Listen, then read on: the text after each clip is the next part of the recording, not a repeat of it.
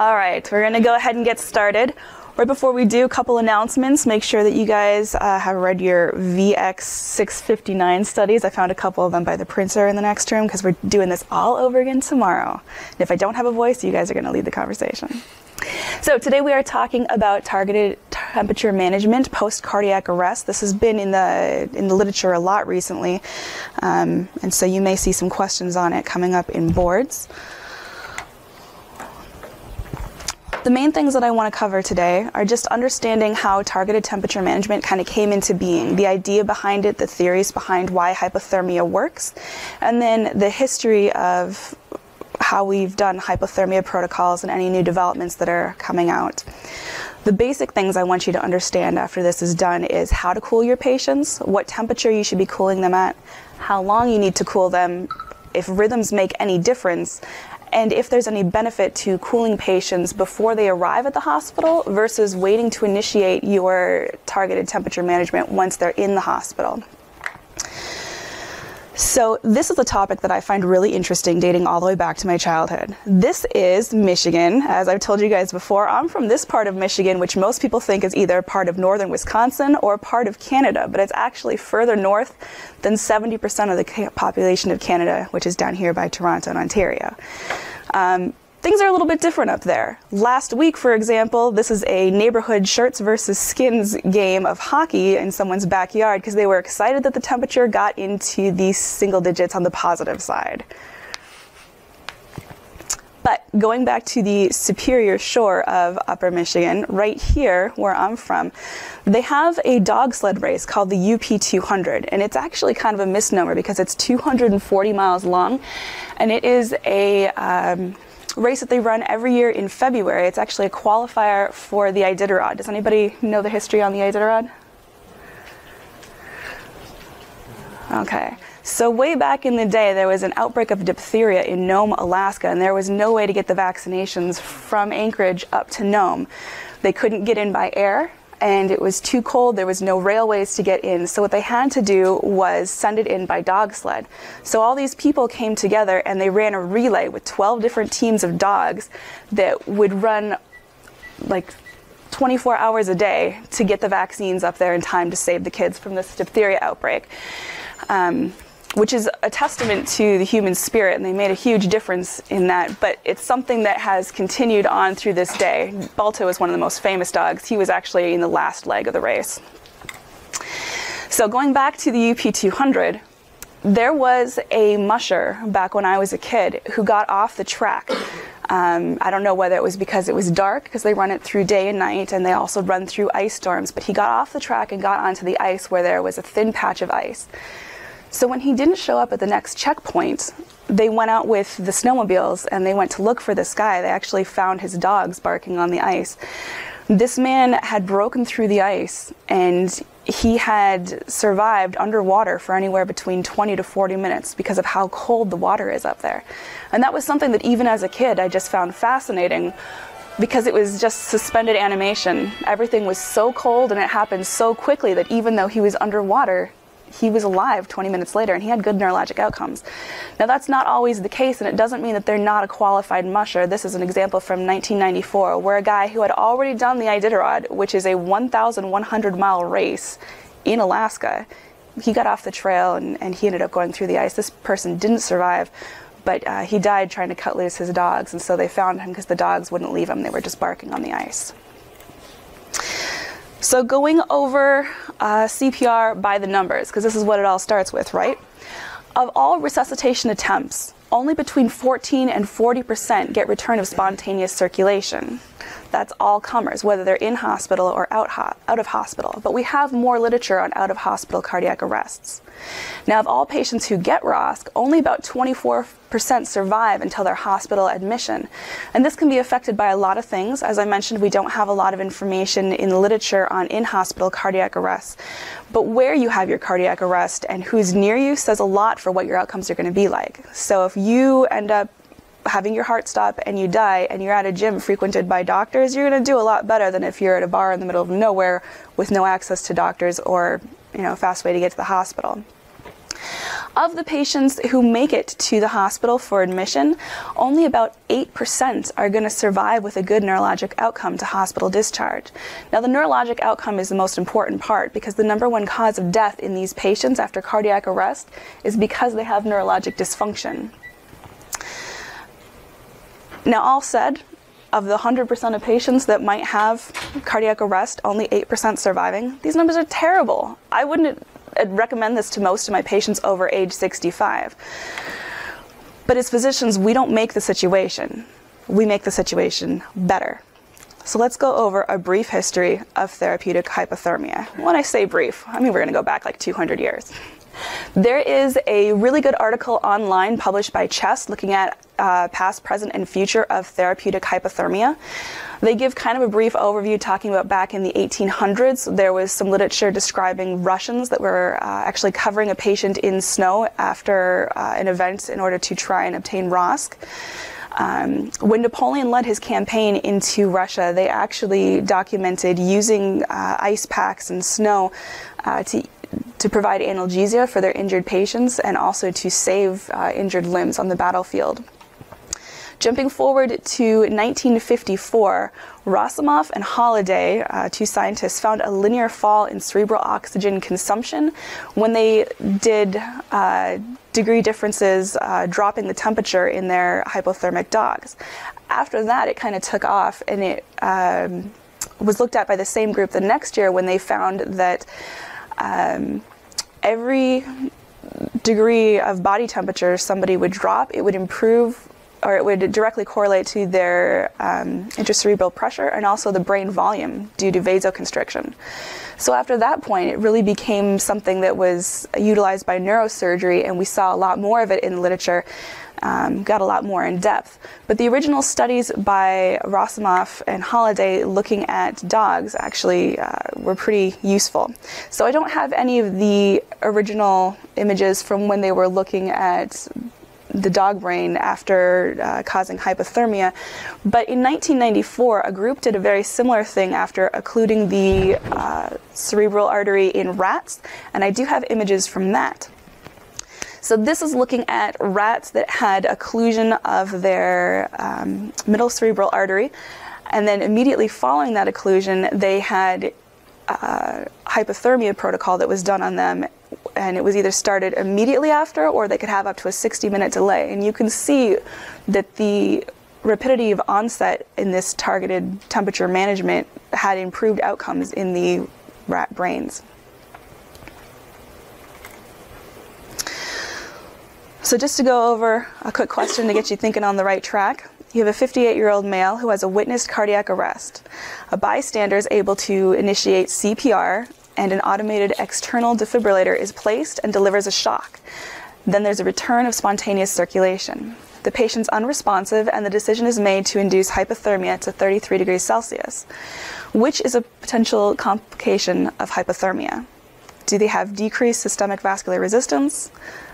Do they have a hypercoagulable state? Are they more predisposed to hypoglycemia? Or are they likely to get hypokalemia? Just think about that while we go over the next things. So, the effects of ischemia. When someone loses their pulse, within 10 seconds, they're going to end up having loss of consciousness because they're not perfusing their brain with enough oxygen to keep everything running. Within 20 seconds, their EEG is going to become isoelectric. At this point, their brain metabolism flips over to anaerobic glycolysis, and this rapidly depletes the energy stores and ATP that they have inside their brain. After that point, they have depolarizing uh, calcium channels, and their ATP gated channels aren't working. So they rapidly go into intracellular acidosis and have free radical production, which, as you guys know, leads to cell death. So that's the big problem neurologically when people go into cardiac arrest, and why the timing is so important. The idea behind uh, hypothermia is that you'll have decreased cerebral blood flow because of vasoconstriction, and that will decrease your intracerebral pressure. We've also seen that patients have a mild decrease in their heart rate when they are hypothermic. They have increased systemic vascular resistance, and they have a decrease in cardiac output by about 7% per 1 degree Celsius of their core temperature that's dropped. Patients who are mildly hypothermic are going to have increased renal perfusion, so you will see some diuresis in these patients naturally. And then, along with having more diuresis and loss of potassium that way, they have increased uh, cellular potassium uptake. So their serum potassium levels are low. So be cognizant of that when you're watching your patients in the ICU. Things that are concerning when we do hypothermia protocols, they have decreased platelet function. And then hypothermia prolongs your PT and PTT, but that's mostly seen at more severe hypothermia. We're talking about less than 30 degrees Celsius, so not something that we do a lot. So bleeding isn't that much of a concern. But our patients do experience neutropenia, and they are therefore at an increased risk of having an infectious disease process, which is something to think about when you are doing um, invasive line placements for your cooling methods.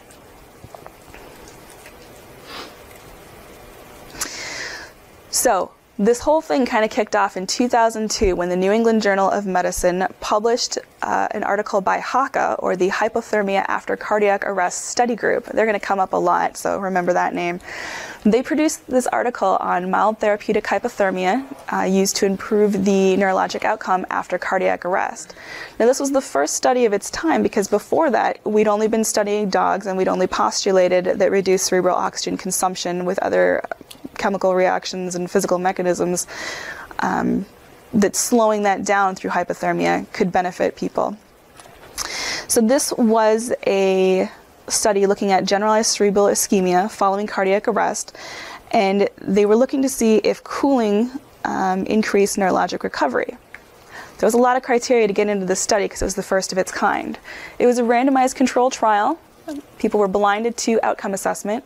They looked at patients ages 18 to 75 who had a witnessed collapse. They also had to have emergency medical personnel attempting resuscitation within 5 to 15 minutes. So you essentially had to go into a VFib arrest while inside the emergency room for another reason. It was very specific. And you had to have return to spontaneous circulation within 60, within 60 minutes. So these patients were cooled between 32 and 34 degrees Celsius for 24 hours. And again, that was just based off of prior studies looking at uh, animal models. But they did find that a mild hypothermia increased the rate of favorable neurologic outcomes and it reduced mortality. So this was a huge landmark study. At the same time, uh, a guy named Bernard from uh, Melbourne, Australia, also published an article in the New England Journal of Medic- Medicine called Treatment of Comatose Survivors of Out of Hospital Cardiac Arrest with Induced Hypothermia. this was also a randomized control trial comparing uh, normothermia to hypothermia in comatose survivors of cardiac arrest. Now, in this study, they only they cooled specifically to 33 degrees Celsius, and they only did it for 12 hours. But they also noted they had a 49% survival in the hypothermia group, as compared to a 26% survival in the normothermia group. So they did everything differently, but they had very similar outcomes, and they were amazing outcomes. So, how important is the temperature? And how important is the rhythm that they're experiencing? And how long do you chill for? I had a lot of questions after reading all of this. So, let's take it from the beginning.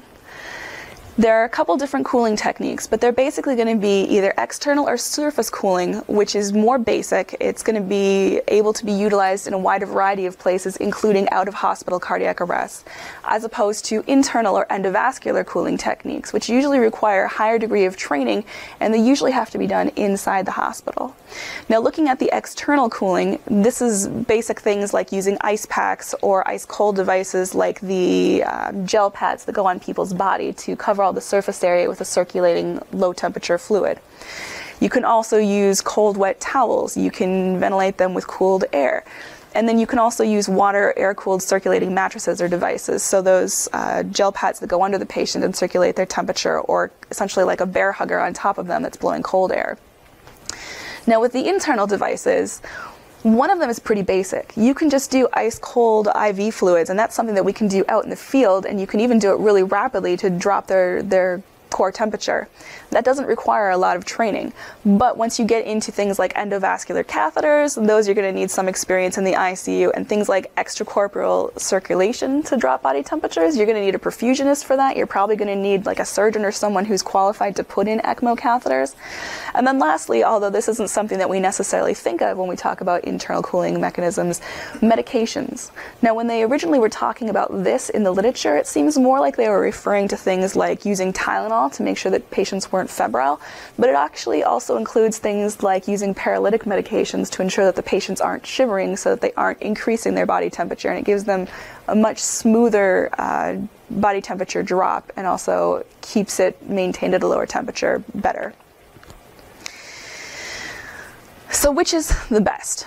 Uh, Resuscitation published an article in 2018 comparing the four most commonly used uh, ways to cool patients, and they found that the endovascular methods, um, including the catheters um, or like ECMO, as well as the gel adhesive pads, cool patients more rapidly and more effectively keep them maintained in that target temperature range than other methods such as um, instilled saline that's freezing cold or doing like a mattress circulator with the cold water.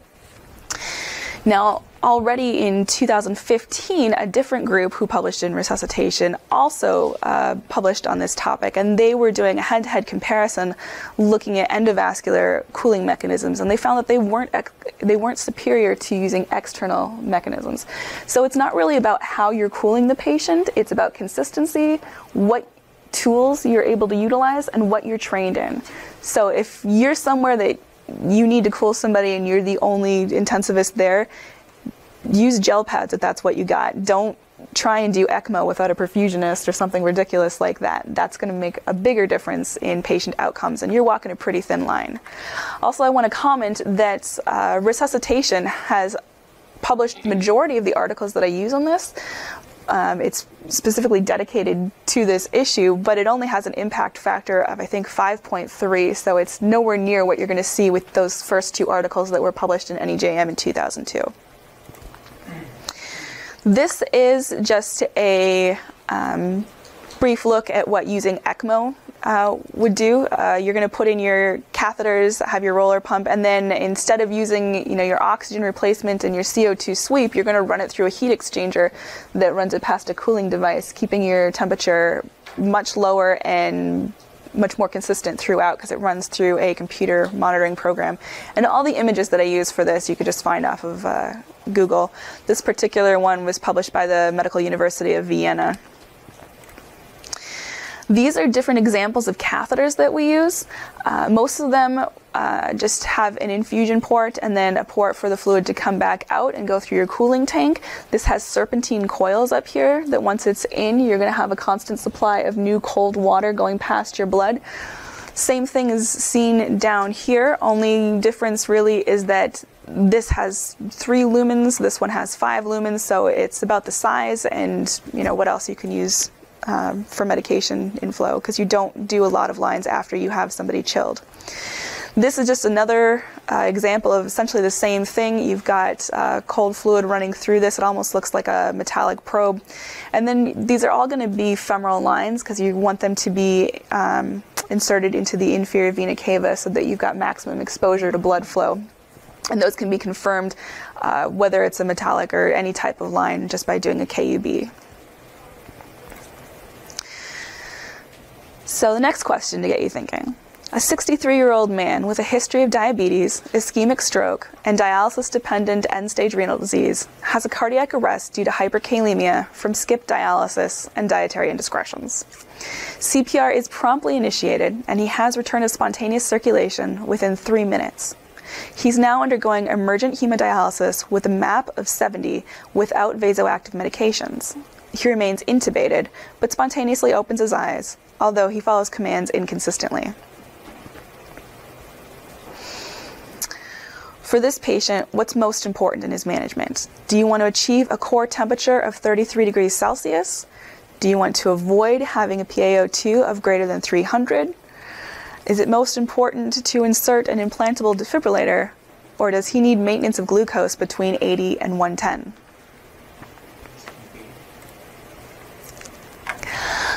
We're going to talk about temperature management now.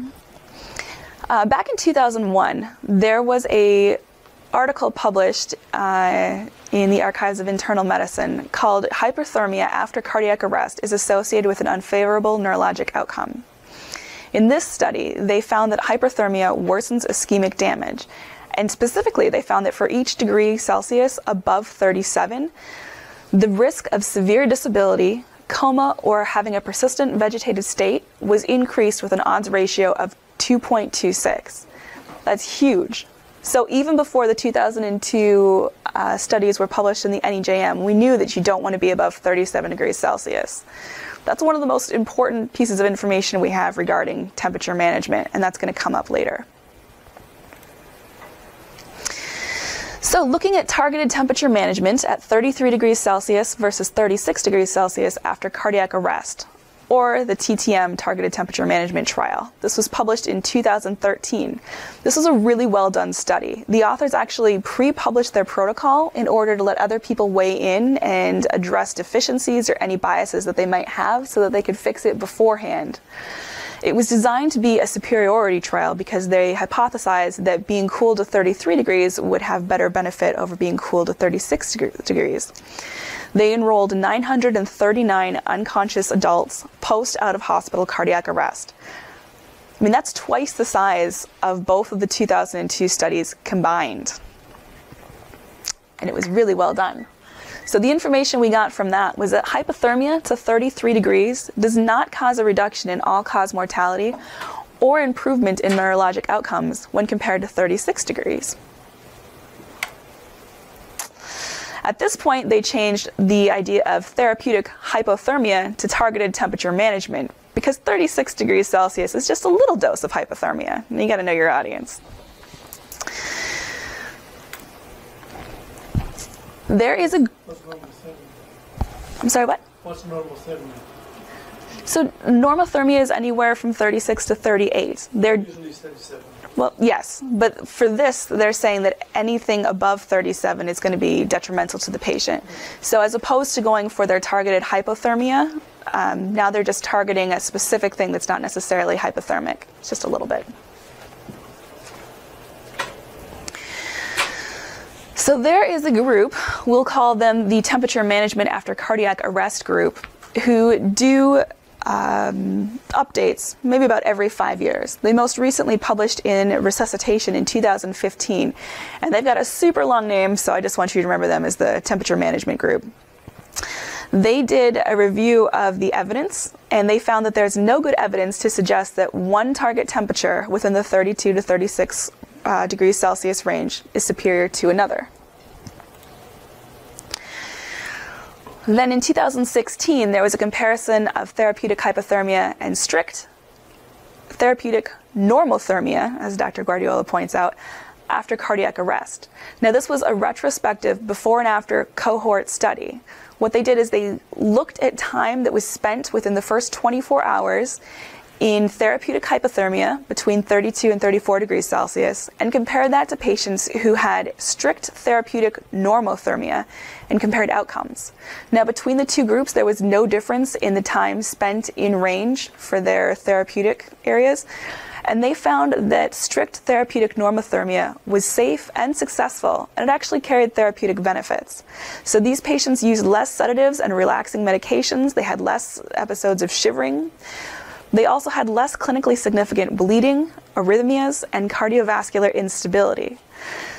So, strict therapeutic normothermia may be a superior treatment option. So basically, the pendulum is now swung back. In 2002, we were looking at essentially colder the better, looking between 32 and 34. But now we're saying just as long as they don't have a fever, they're probably okay. Going further into that, there was a systematic review and meta analysis done in 2018 looking at targeted temperature management after cardiac arrest.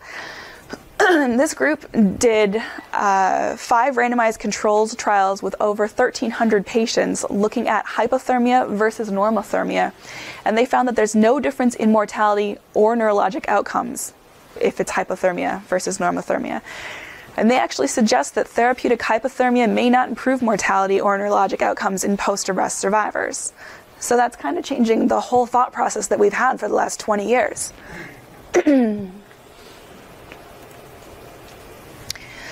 so, looking at the duration of targeted temperature management, we know that we want to keep patients cold, but how long is, is kind of a difficult thing to say. The targeted temperature management study only looked at 24 hours, and that was based on uh, dog studies that they previously reviewed. Now, the targeted temperature management after cardiac arrest group that I mentioned, they thought that 24 hours is the least that you should cool somebody, but that was just based off of the week. It was just a weak recommendation that was based off of the 2002 HACA group, as well as the targeted temperature management group from 2012. And then um, this is just another article looking at the same thing that found uh, temperature management for over 18 hours was an independent uh, predictor of favorable neurologic outcomes. That was published in 2012. Moving on to rhythm. Does your patient have a regular or irregular pulse and is it shockable? And how important is that? So, going back to resuscitation, in I think this was 2012, they looked at mild therapeutic hypothermia and found that it was associated with favorable outcomes in patients after cardiac arrest with non-shockable rhythms. Now that was new. Previously it was all the VFib, VTach arrest patients that we were able to shock. Now this was a cohort study based on cardiac arrest registry looking at patients from 1992 to 2009. They looked at over 3,300 patients uh, who had constant temperature monitoring and were found to be between 32 and 34 degrees Celsius for 24 hours as previously advised. Since it was an observational descriptive study, it left itself open to selection bias since there wasn't any randomization, and they did comment that it's possible that uh, there was selection bias in the physicians as they enrolled their patients to be temperature management to be temperature managed, sorry, um, and saying that patients who were expected to have bad outcomes probably weren't cooled. but the real meat of the paper is in this graph looking at hypothermia versus non hypothermia patients. Up here in the non hypothermia patients, you can actually see that not only are they in the normal range of about 37, they're actually going above that. And in the discussion of this article, they commented that a significant limitation to their study was the fact that patients who weren't treated with hypothermia actually tended towards hyperthermia, something that we knew from 2001 to be associated with poor outcomes. And here is uh, 38 degrees. Most of their patients were actually considered febrile within the first 24 hour window, the most crucial time in uh, post cardiac arrest resuscitation. That can actually be brought back to the HACA study from 2002. This is their original uh, graph showing the hypothermia versus what they considered normothermia. Patients there also had a tendency towards being febrile within the first 24 hours. But if you look at it in light of knowing that patients should only be 37 degrees and knowing that every degree above that causes a 2.26 increased odds ratio of having poor neurologic outcomes, that changes everything about it. I mean, all of their normothermia patients were essentially hypothermic and already outside of guideline temperatures. So maybe this data isn't that great. Maybe it's not the cooling that caused the benefits or the rhythm that the patients had experienced that caused them to have these benefits. Hard to say what is important. Looking at rhythms and outcomes of adults in hospital cardiac arrest, this was published in Critical Care uh, in 2010. This was a really well done study looking at the National Registry of CPR, or the NRCPR. It was a prospective, multi site, in hospital registry which was sponsored by the American Heart Association, so it's a pretty good database. They data mined for patients who were 18 years of age and older who had at least six months of data in the registry, ranging from May of 1999 to July of 2005. They came up with over 55,000 patients, and once they whittled it down for their criteria, they ended up looking at 51,000 patients, just under 52,000. What they found was when you had VTach, VFib, 37% of patients survived. Now, this was as opposed to patients who were experiencing non shockable rhythms, only 11% of them survived. But one of the most important things that this study found was actually the location that you're at when you have your shockable arrest is probably the most important indicator. Now, they specifically looked at a Las Vegas casino where there was close monitoring of all the people in there, and there were people nearby who had training in, you know, BLS and maybe even ACLS, but could certainly use a defibrillator. And those patients were well enough to be gambling before they went into their VFib arrest. So that kind of skews it. They had a 59% chance of survival. Now, they didn't actually give a number for patients who had in hospital survival, but remember that this is an acutely different population. When they went into their VTach VFib arrest, a quarter of them went into acute respiratory failure at the same time, and a quarter of them were experiencing acute hypotension. So these are the patients in the ICU that are crumping. You know they're about to code, and you're trying to prevent it from happening. You got to remember they're already sick. These patients were already admitted. A third of them were admitted for respiratory compromise, a quarter for congestive heart failure, and an additional quarter were admitted because they had renal insufficiency. So they were much sicker at baseline. One important thing to keep in mind for this was that this particular study found that 44% of all in hospital cardiac arrests were VTach or VFib. So that means that of all your cardiac arrests, half of them are going to be VTach, VFib in the hospital, and a third of those are going to survive, making your in hospital survival close to 16%, which is not that far off from our original statement saying that about 8% of people would have survival after CPR. But I think the most important thing to get out of this is where you are and whatever your rhythm is plays a huge role in the outcomes. So it doesn't really matter what rhythm you have. It matters who's next to you and if they can provide life support and BLS. Or maybe it's more eloquently said by Sasson in 2010 when they stated that survival to discharge is more likely when arrest is witnessed by a bystander and is VTach VFib. Back to that same temperature management after cardiac arrest group, in their 2015 guidelines, where they had said that there was no good evidence to suggest that one targeted temperature was superior to another, they basically said keep it below 37 degrees Celsius. And they said that the duration of uh, targeted temperature management should be at least 24 hours. They also went on to say that they recommend targeted temperature management as opposed to no temperature management on all out of hospital cardiac arrests who remain comatose, regardless of the initial rhythm, and for all in hospital cardiac arrests, regardless of the initial rhythm.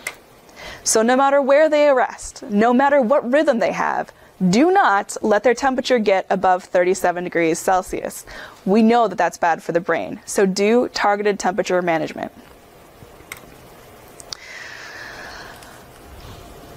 Um, so, timing is really important. We know that the time interval from collapse to ROSC is a strong independent predictor of neurologic outcome. But what about time to cooling? Looking at pre hospital cooling versus in hospital cooling, we know that cold saline can be administered IV in the field and it can drop temperatures by an average of 1.7 degrees Celsius.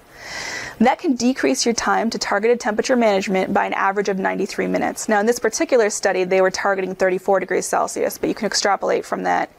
It's going to take off about an hour and a half to get you to whatever your targeted temperature is. But they found that pre hospital cooling was not associated with an improved neurologic outcome. That's kind of in direct contrast to what we saw with the mouse brains. Sorry, rats. All right, back to the targeted temperature management cardiac arrest group. They recommended against pre hospital cooling with rapid infusion of large volumes of ice cold IV fluids following ROSC. Now, part of the reason for that was because we don't have any other cooling technique that was adequately studied in the pre hospital setting, mostly because you need different levels of training. But they found no difference between pre hospital and in hospital cooling with regard to outcomes. So they say don't bother with it anyway, unless we have more studies telling us more information on that. And finally, uh, in 2018, that uh, review with meta analysis, uh, they found that pre hospital versus in hospital hypothermia, uh, when looking at six randomized control trials with just under 34,000 patients, had no difference in mortality or neurologic outcomes. So, things to consider. You want to cool people who had a witnessed out of hospital arrest. They can have any rhythm if they were in hospital they want you want them to be hemodynamically stable and you want to get them started on their cooling protocol within six hours of rest. Contraindications would be any other reason to be comatose, whether they uh, have drugs in their system, high levels of alcohol, or if they're in status epilepticus. Also, uncontrolled bleeding, but this is kind of hard to say.